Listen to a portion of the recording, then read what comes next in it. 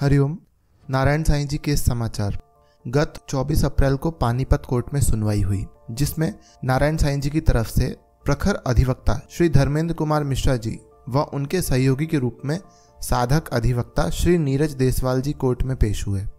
बहस शुरू होने से पहले वकील धर्मेंद्र मिश्रा जी के द्वारा जज साहब निशांत शर्मा जी से नारायण साईं जी को वीडियो कॉन्फ्रेंसिंग के ज़रिए अदालत की कार्रवाई को देखने व सुनने के लिए निवेदन किए जाने पर जज साहब ने वीडियो कॉन्फ्रेंसिंग से जुड़ने हेतु स्वीकृति प्रदान की।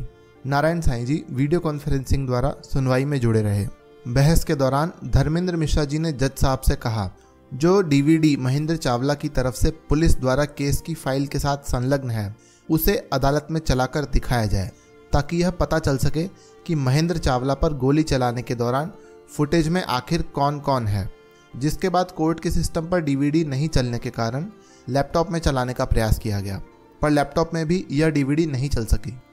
बहस में वकील मिश्रा जी ने न्यायालय से कहा कि डीवीडी जैसे ज़रूरी साक्ष्य की तरफ़ डिफेंस का ध्यान नहीं गया, क्योंकि यह एक ऐसा साक्ष्य है जिसके आधार पर यह स्पष्ट हो सकेगा कि महेंद्र चावला पर हमला हुआ है या नहीं, और महेंद्र चावला ने जिस व्यक्ति का नाम लिया है, घटना के वक्त वीडियो फुटेज में वह व्यक्ति है या कोई और। साथ ही पुलिस की चार्जशीट में ऐसे कई तथ्यों के बारे में स्पष्ट हो सकेगा।